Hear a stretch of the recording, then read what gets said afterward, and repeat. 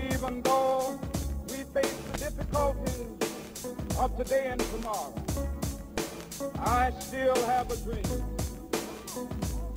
It is a dream deeply rooted in the American dream. I have a dream that one day this nation will rise up, live out the true meaning of its creed. We hold be self-evident that all men are created.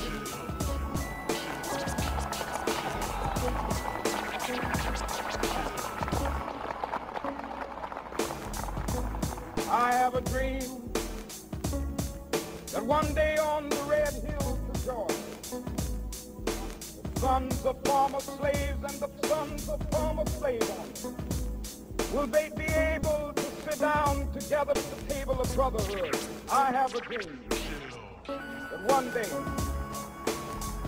even the state of Mississippi, a state sweltering with the heat of injustice, sweltering with the heat of oppression, be transformed into an oasis of freedom and justice. I have a dream that my poor little children one day live in a nation where they will not be judged by the color of their skin, but by the content of their character. I have a dream today.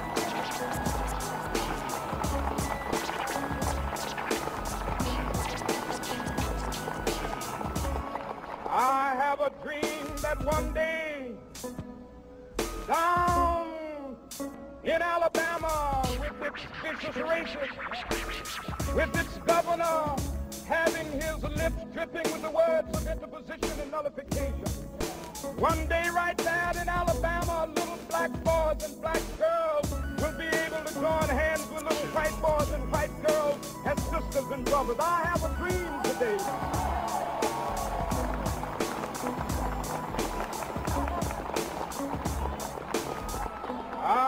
A dream that one day every valley shall be exalted. Every hill and mountain shall be made low, the rough places will be made plain, and the crooked places will be made straight, and the glory of the Lord shall be revealed, and all flesh shall see it together. This is our hope. This is the faith that I go back to the south with. With this faith, we will be able to hew out of the mountain of despair a stone of hope. With this faith, we will be able to transform the jangling discords of our nation into a beautiful symphony of brotherhood. With this faith, we will be able to work together, to pray together, to struggle together, to go to jail together, to stand up for freedom together, knowing that we will be free one day.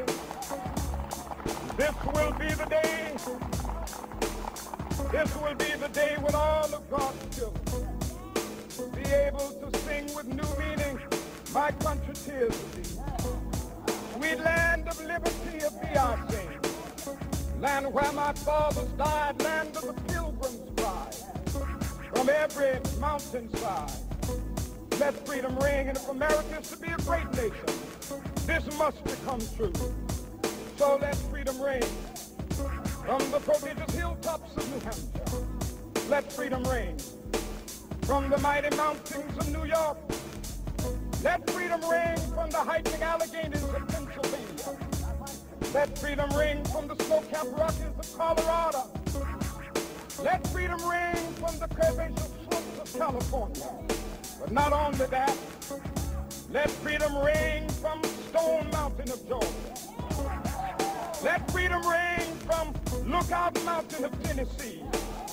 Let freedom ring from every Mississippi, from every mountainside. Let freedom ring, and when this happens,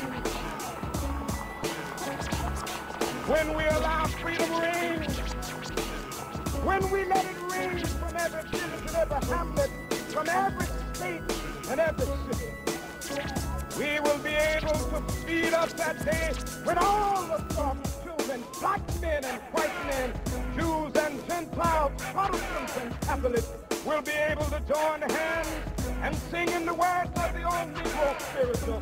Free at last.